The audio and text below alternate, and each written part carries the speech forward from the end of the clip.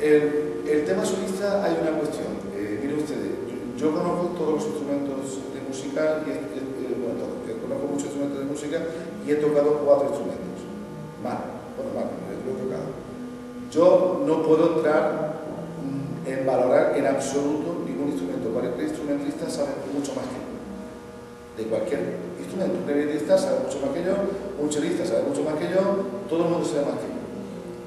Claro, eh, lo ideal de un eh, solista, cuando uno trabaja como solista, es que haya una comunicación.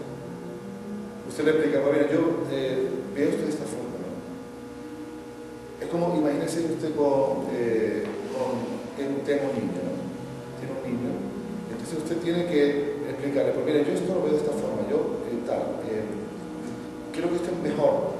Y es una comunicación uno y otro y al final llega a una serie de conclusiones. El solista, bajo mi punto de vista, es el que debe tener la última palabra. ¿Por qué? Porque el solista es que conoce su instrumento, es una prolongación de su cuerpo. Yo puedo eh, hablar con él y decirle, pues yo pienso tal, que me parece que tal cosa, o que tú no ves por aquí, o mira tal cosa. Yo doy información que me da a mí. Entonces llegamos a un entendimiento. Pero lo que sí que en ningún caso, una vez que ya se produce ese entendimiento, el director nunca debe dirigir al solista, ni siquiera la orquesta. Es el sonido del solista el que debe hacer que la orquesta toque de la misma forma que un guitarrista flamenco acompaña a un cantor flamenco. El cantor canta y el, y el guitarrista acompaña.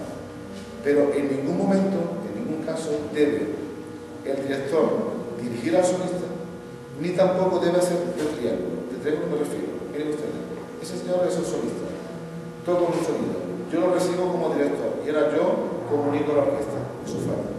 Miren ustedes, es el doble camino. El camino correcto es solista toca, orquesta oye al solista y el director los bendice.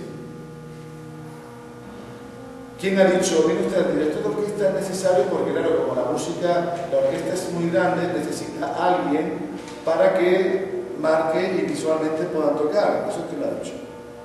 ¿Tocar qué es? En una orquesta qué es? Ir rítmicamente unidos. ¿Y la afinación? Si el oboe no oye al violonchelo, ¿cómo afina?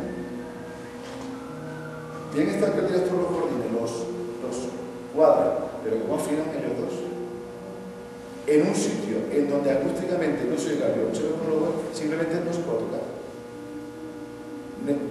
Saben que hay, una experiencia hecha en, en, los años 40, creo que fue 30 40, en Rusia, de una orquesta tocar con director y otra orquesta tocar sin director. Y hicieron una grabación. Hicieron el experimento fue el siguiente.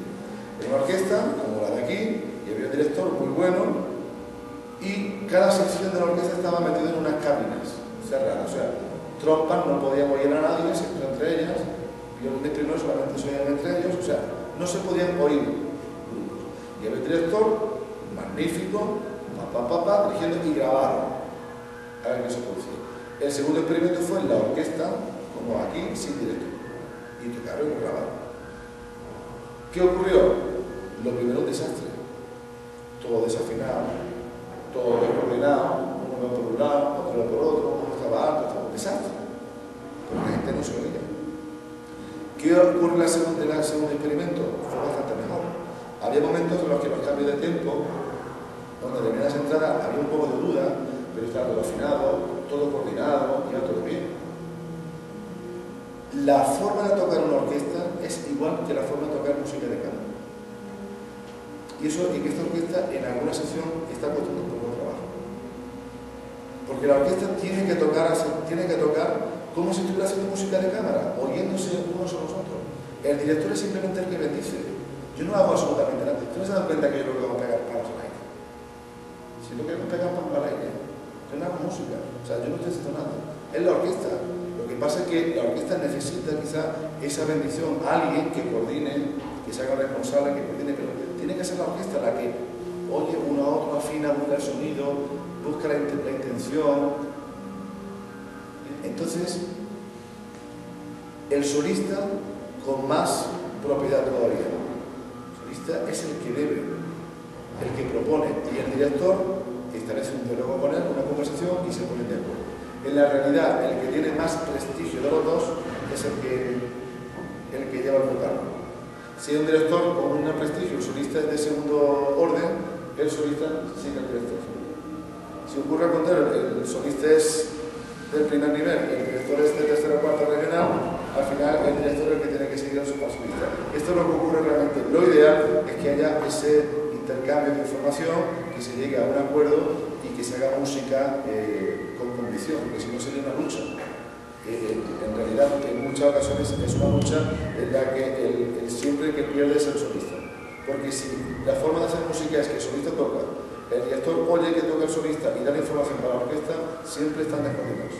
La forma es que la orquesta oye al solista y el director le dice.